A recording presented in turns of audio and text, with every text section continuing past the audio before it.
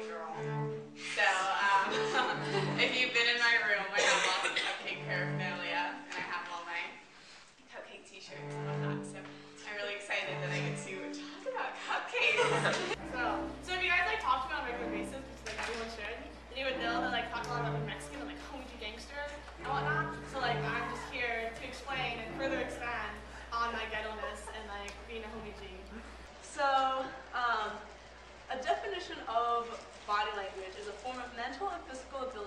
human nonverbal communication consisting of body posture, gestures, facial expressions, and eye movements. 60 to 70 percent of communication is solely through nonverbal communication, meaning about only like a quarter to like 40 percent of communication is actually like speaking. What makes us human? This seems to be a really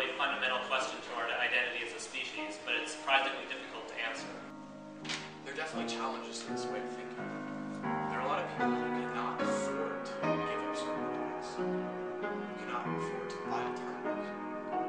So perhaps it's imperative on us, those of us who can afford a difference, to do so.